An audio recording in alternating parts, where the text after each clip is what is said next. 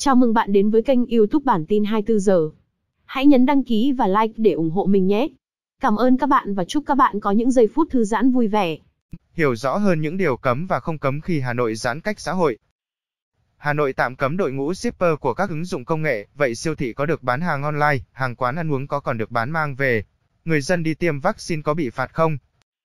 Chỉ cấm đội ngũ shipper của các ứng dụng công nghệ từ 6 giờ ngày 24 tháng 7. Hà Nội thực hiện giãn cách xã hội toàn thành phố theo nguyên tắc chỉ thị 16 của Thủ tướng Chính phủ trong vòng 15 ngày kể từ 6 giờ ngày 24 tháng 7. Theo đó, Hà Nội dừng các hoạt động vận tải hành khách, xe buýt, xe taxi, xe hợp đồng, xe du lịch, xe khách liên tỉnh, hoạt động bến khách ngang sông, bến thủy nội địa. Vận tải hành khách công cộng vận chuyển hành khách bằng xe mô tô, bao gồm xe có sử dụng phần mềm ứng dụng công nghệ kết nối với hành khách và xe ôm, trừ trường hợp phục vụ công tác phòng chống dịch, công vụ, ngoại giao, vận chuyển công nhân, chuyên gia, tại hội nghị thông tin về các giải pháp phòng chống dịch COVID-19. Giám đốc Sở Giao thông Vận tải Hà Nội Vũ Văn Viện cho biết thêm, ngoài nội dung cấm các hoạt động vận tải hành khách trong chỉ thị mới được Ủy ban nhân dân thành phố Hà Nội ban hành, phía Sở Hà Nội cũng tạm thời cấm đội ngũ nhân viên giao hàng, shipper của các ứng dụng, app công nghệ bởi chưa kiểm soát được lực lượng này. Trao đổi với báo chí chiều ngày 24 tháng 7, ông Viện cho biết thêm, trong 15 ngày giãn cách xã hội, đội ngũ bưu tá của doanh nghiệp bưu chính và nhân viên giao hàng của các siêu thị không bị cấm.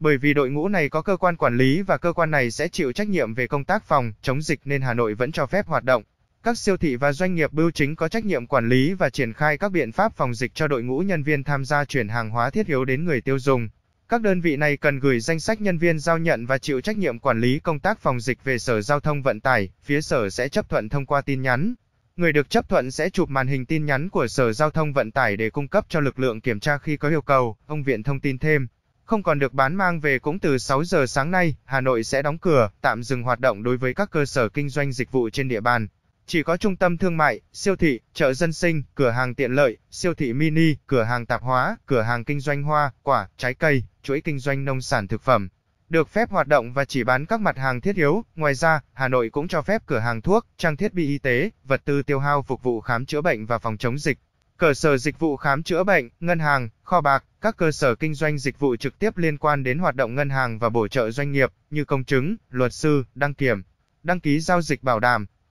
chứng khoán, bưu chính, viễn thông, dịch vụ hỗ trợ vận chuyển, xuất, nhập khẩu hàng hóa, cơ sở cai nghiện, cơ sở bảo trợ xã hội hoạt động bình thường trong 15 ngày giãn cách xã hội và phải đảm bảo quy tắc phòng chống dịch COVID-19, có thể thấy, chỉ thị mới của thành phố đã yêu cầu các cửa hàng kinh doanh dịch vụ ăn uống tạm dừng hoạt động hoàn toàn, không cho phép bán đồ mang về như các chỉ thị trước đó. Người dân được ra ngoài trong trường hợp thật sự cần thiết chỉ thị mới của Hà Nội cũng nêu rõ, yêu cầu người dân thực hiện nghiêm việc giữ khoảng cách tối thiểu 2 mét khi giao tiếp, không tập trung quá hai người ngoài phạm vi công sở, trường học, bệnh viện và nơi công cộng. Bên cạnh đó, trong thời gian 15 ngày thực hiện giãn cách xã hội, Hà Nội yêu cầu mọi người dân ở tại nhà, chỉ ra ngoài trong trường hợp thật sự cần thiết như mua lương thực, thực phẩm, thuốc men, cấp cứu, khám chữa bệnh, tiêm chủng vaccine và các trường hợp khẩn cấp khác, đi công tác công vụ, làm việc tại cơ quan, công sở, làm việc tại nhà máy, cơ sở sản xuất, cơ sở kinh doanh dịch vụ. Hàng hóa thiết yếu được phép hoạt động, theo một lãnh đạo công an phường Hàng Mã, quận Hoàn Kiếm, Hà Nội, đơn vị sẽ căn cứ vào Nghị định số 117